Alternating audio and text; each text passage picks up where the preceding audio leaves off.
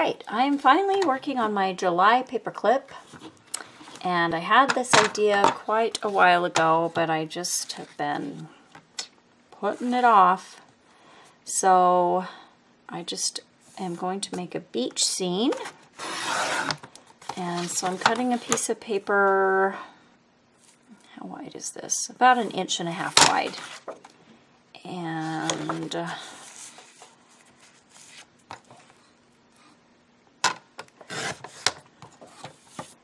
This one is about four and a half inches long. And I'm just gonna kind of wing it and see how it turns out. So normally I do one and then film making the second paper clip, but this time I'm just gonna go for it.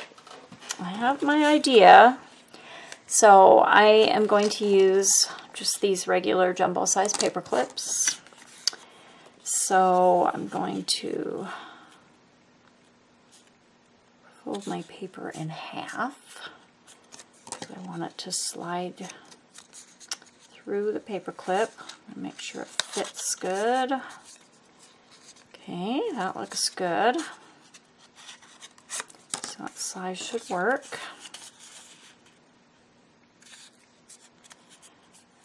Oh, I did not fold that very straight. Fix that a little bit. I guess I could have got my bone folder out, that's okay. So I have this super sticky tape that I got from Alton Crafts quite a while ago and have never really used it. My sister used it and said it works really, really good. So what I'm going to do is put some tape along the bottom of this and stick some sand to it. So I'm just gonna, hmm, not quite sure how to do this, but I'll just kind of go like that and then trim that up. Oh, I gotta find my scissors. Be right back. Okay, I'll just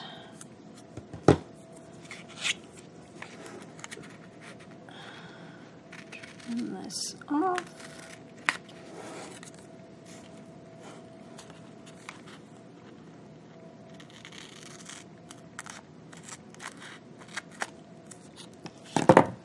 Do the on this one. Maybe I'll just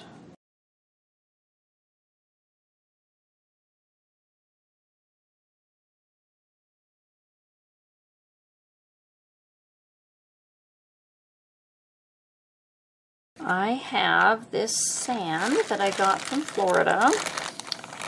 This sand and shells are from Pelican Beach and it's pretty fine. And I went to Fort Lauderdale and I have never seen so many shells in my life. But the sand there was really, had a lot of shells in the sand. So I'm trying to decide if I want a more textury. I think I do. So what I'm going to do is, I got this corner right here. It has quite a bit of sand. So I'm just going to peel off the the uh, covering of the tape. Oh, guess I better. Uh, it's kind of wiggling the camera a lot. Peel off the protective backing and just stick it on. Oh shoot! Stick into the bag. Just stick it in the sand here.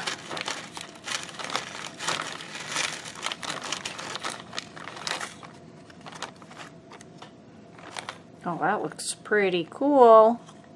I like all those shells. That looks neat. I like it. I like it. I just hope that the tape is sticky enough that the sand won't be coming off. And just push it down really good.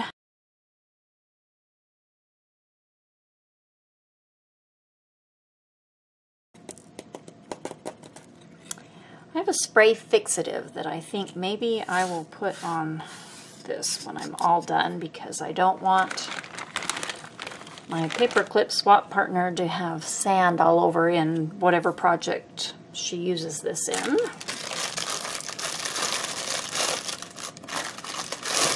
So now have to figure out how to do the next part. I made this homemade texture paste and so I wanted to use it to make it look like the ocean on the other half of my little piece. And so I'm going to ponder that and come right back. Okay, so I played around with my texture paste and my Distress Oxide ink. I used Salty Ocean and I sprayed it and got it wet, which I think was a mistake.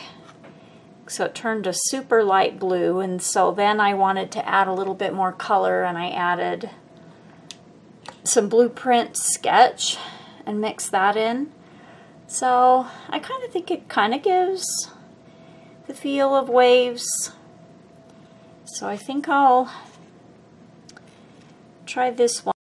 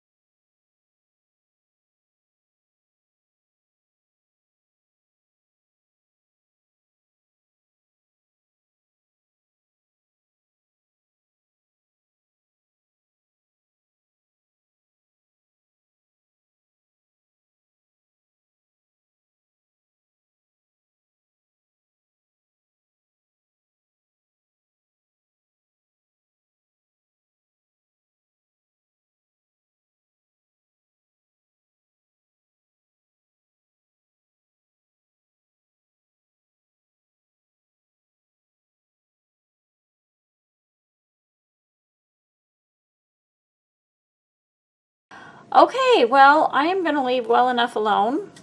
Let this dry and then decide if I need to add a palm tree or... I was thinking of finding some little shells that were more whole. I don't know. I kind of just saved big ones. I guess I could... Uh, those are I don't know. I'm going to let this dry and then we'll see what I feel it needs. So I'll be back.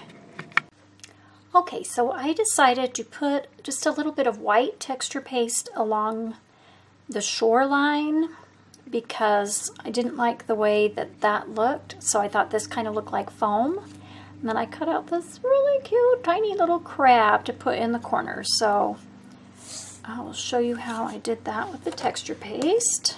I just used my palette knife and got kind of a lot on the tip and then just kind of spread it on there. Let it be kind of thick because I wanted to make sure to cover up that sharp edge of blue. I thought this way it kind of looked like the foam as a wave washes up. So just like that.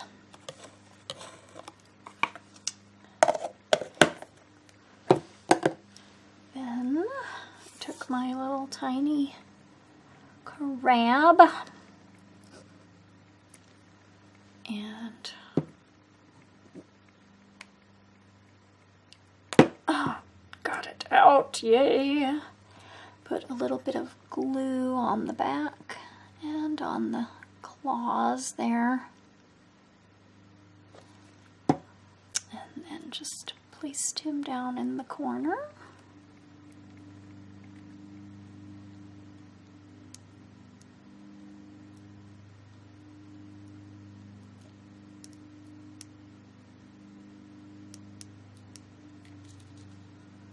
Okay, then oh, I had a lot of issues with this, but I wanted to put seize the day on there. I I wanted it to be smaller. I first had a different font.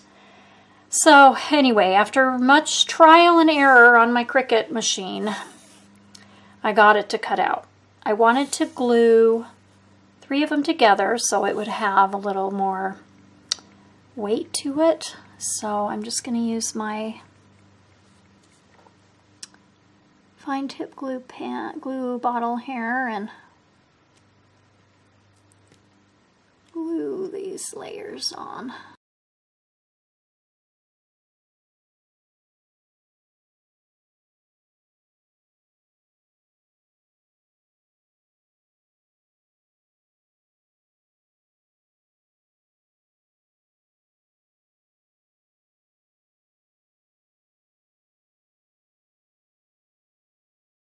And then we'll glue that on to the background there.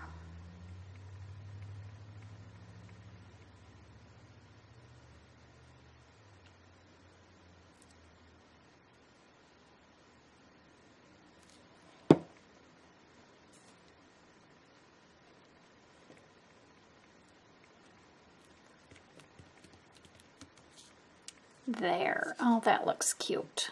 Okay. So I'm going to let that dry.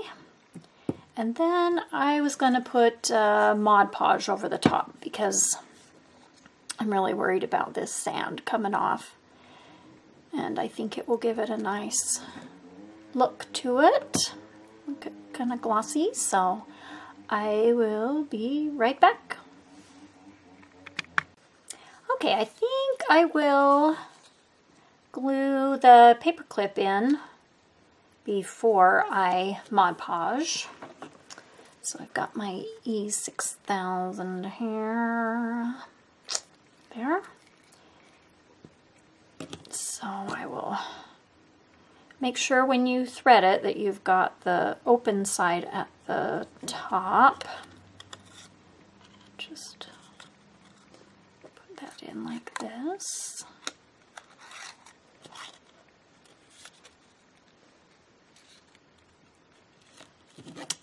I'll just put some glue here by the paper clip and just kind of all over.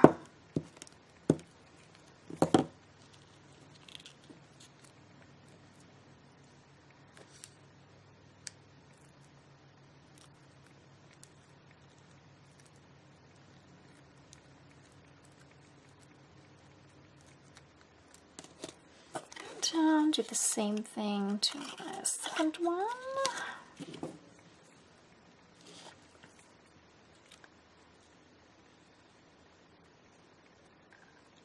Oh, this glue is stinky.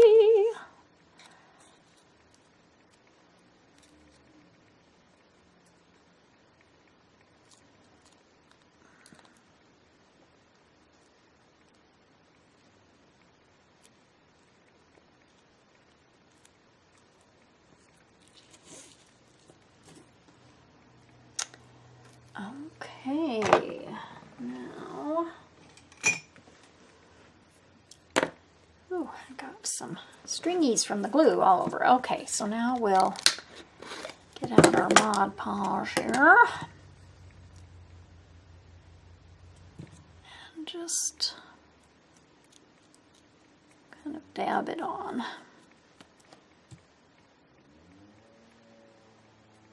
Need it kind of heavy to get all this sand in there.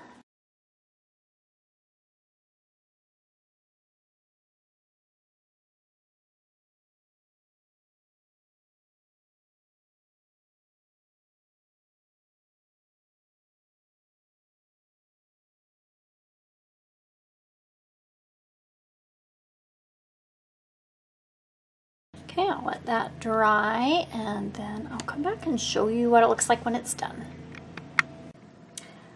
Okay, so they're all dry and here they are all done.